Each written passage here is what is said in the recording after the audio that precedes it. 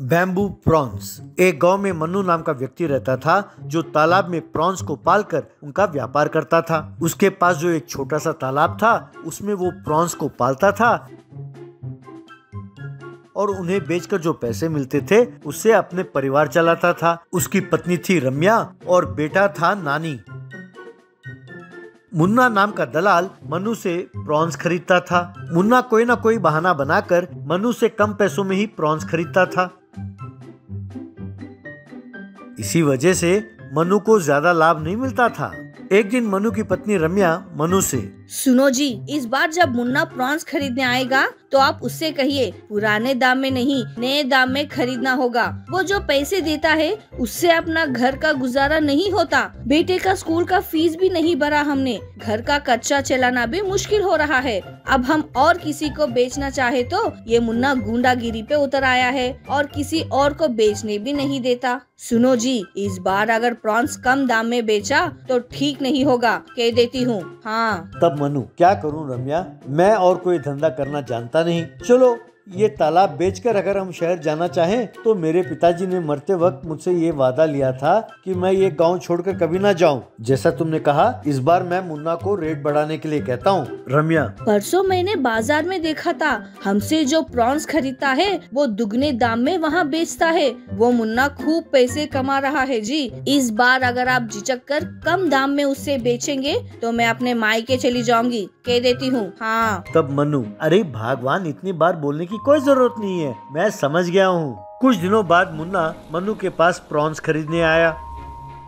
मुन्ना मनु से अरे क्या भाई मनु इस बार लगता है तुम्हारे प्रॉन्स एकदम सुकड़े हो गए हैं। मुझे शक है कि ज़्यादा देर पानी में रहने के कारण इन्हें फ्लू हो गया है। तब मनु क्या बात कर रहे हैं सर? अरे जब से पैदा होते हैं मरने तक ये प्रॉन्स पानी में ही रहते हैं तो इन्हें कहाँ से सर्दी जुकाम हो जाएगा? प्रॉन्स तो एकदम बढ़िया है सर।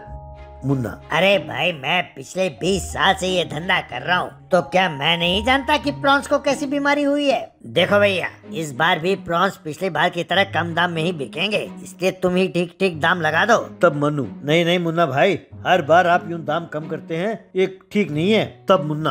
अरे तुम भी ऐसे बात करोगे तो कैसे होगा मनु? अरे मेरे बहुत सारे खर्चे होते हैं। ट्रांसपोर्टेशन का खर्चा लेबर का खर्चा और भी बहुत सारे खर्चे होते हैं। वो सारे खर्चे मुझे ही उठाने पड़ते हैं ना? मनु अरे ये सब रहने दीजिए सर। मैं कम दाम में नहीं बेचने वाला बस। ये फाइनल है सर।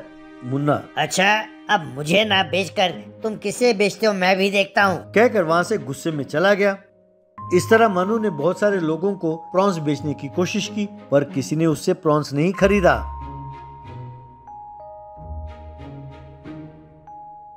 तभी एक दलाल मनु से, अरे देखो मनु, तुमने खाम खा, मुन्ना से पंगा ले लिया। तुम तो उसके बारे में जानते हो ना? अब कोई भी उसकी बात टाल कर तुम्हारे पास प्रॉन्स तो खरीदने से रहे।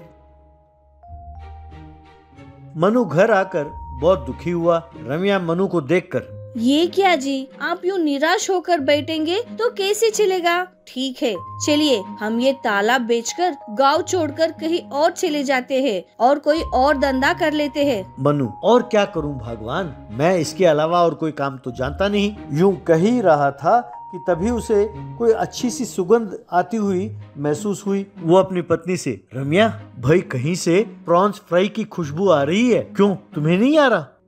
तब रम्या। जी हाँ बहुत बढ़िया प्रॉन्स फ्राई की खुशबू है। अब आधी रात को प्रॉन्स फ्राई कौन पका रहा होगा? तभी उन्हें उनके तालाब के पास आवाज़ सुनाई दी। रम्या और मनु दोनों वहाँ पहुँचे।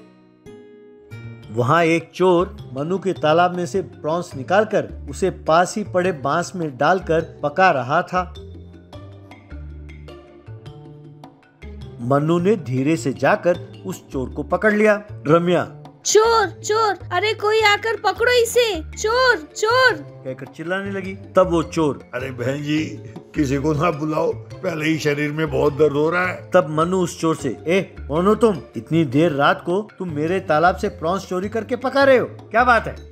तब वो चोर साहब मेरा नाम गजा है। मैं चिंदी चोर हूँ। सुना था कि आपके तालाब में प्रॉन्स बहुत स्वादिष्ट होते हैं। इसीलिए खाने यहाँ चला आया। बस अभी अभी पका रहा था साहब तब मनु अच्छा तुम चोरी में नए नए हो, वरना यहीं चुरा कर तुम यहीं पकाते, हैं? ठीक है ठीक है, मैं समझ गया कि तुम्हारे पास कोई काम नहीं है मैं तुम्हें काम दूँगा, लेकिन ध्यान से मन लगा कर काम करना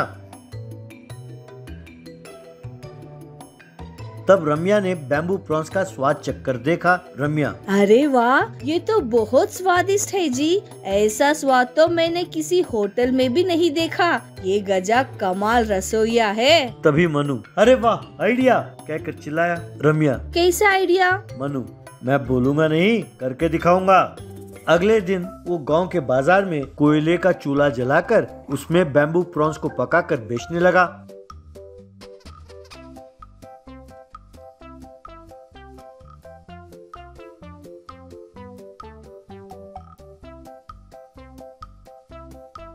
गजा इसमें मनु की मदद करने लगा। क्योंकि उनके बैम्बू प्रॉन्स बहुत स्वादिष्ट थे, लोग लाइन लगाकर वहाँ खरीद कर खाने लगे।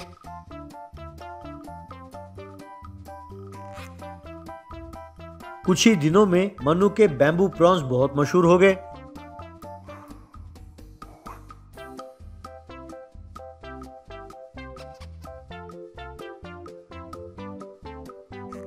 इस तरह मनु जो प्रॉन्स खुद पालता था उन्हें खुद ही पकाकर लोगों को खिलाकर पैसे कमाने लगा।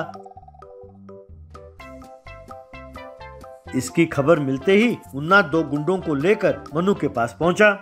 तब गजा ने उन दोनों गुंडों को पटक पटक के मारा वो वहाँ से भाग गए।